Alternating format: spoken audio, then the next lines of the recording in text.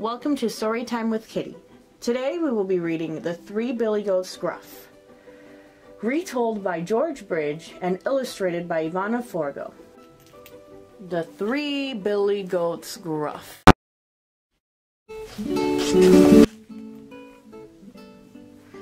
This story is of three Billy Goats Gruff and a troll who did not know when enough is enough, which may have been his undoing. This story happened some time, time ago, at a time when it was not that unusual for three Billy Goats to all have the same name. Gruff was quite a popular name among billy goats back then, and as it happened, these three friends were all named Gruff. There was the small Billy Goat Gruff, the big Billy Goat Gruff, and the biggest Billy Goat Gruff. There was also a troll, who shall remain nameless. The troll lived under a bridge on a hillside where the Gruffs liked to eat. One day, as they were crunching on all the great green stuff that they could see, they realized they had eaten most of what was available on their side of the stream. So, one by one, the Gruffs decided to cross the bridge in search of more snacks. First came the small Billy Goat Gruff to cross the bridge. Clip clop, clip clop went the Billy Goat's hooves on the bridge. What's that noise? Make it stop, grumbled the troll.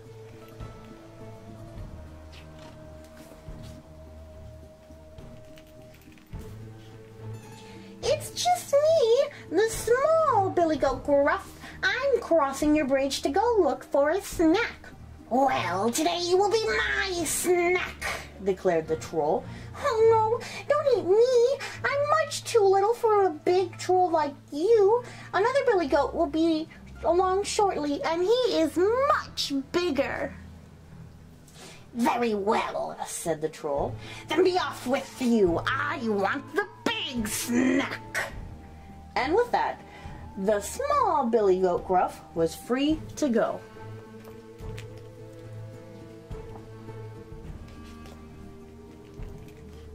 Another short time later, the big Billy Goat Gruff came to the bridge. Clip clop, clip clop went the Billy Goat's hooves on the bridge. What's that noise? Make it stop! grumbled the troll. It's just me, the big Billy Goat Gruff. I'm crossing your bridge to go look for a snack. Well, today you are going to be my snack, declared the troll. Oh no, don't eat me. A big troll like you should have the biggest of snacks. Another billy goat will be along shortly, and he is the biggest. Very well, said the troll.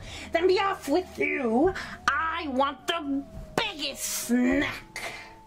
And with that, the billy goat gruff was free to go.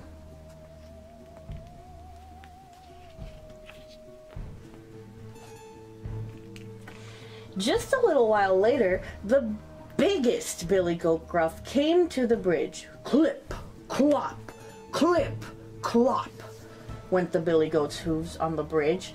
It shook and creaked from the weight of the biggest Billy Goat. What's that noise? grumbled the troll nervously. It's just me, the biggest Billy Goat Gruff. I'm crossing the bridge to go look for a snack. Well, mm, today you are going to be my snack, the troll said meekly. Come out from under that bridge and we will see about that, declared the biggest Billy Goat Gruff. Hmm, very well, said the troll nervously.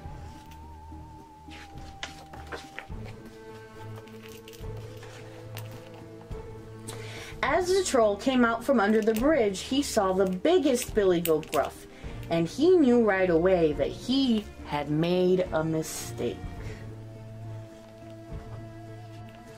The biggest Billy Goat Gruff used his two big horns to knock the troll back off the bridge, and so far downstream that the big bully of a troll was never ever seen again. Now, all the billy goats and every other grazing animal on the hillside enjoy delicious snacks on both sides of the bridge without any trouble. The end. Okay, friends, thank you for listening. Happy reading. Bye.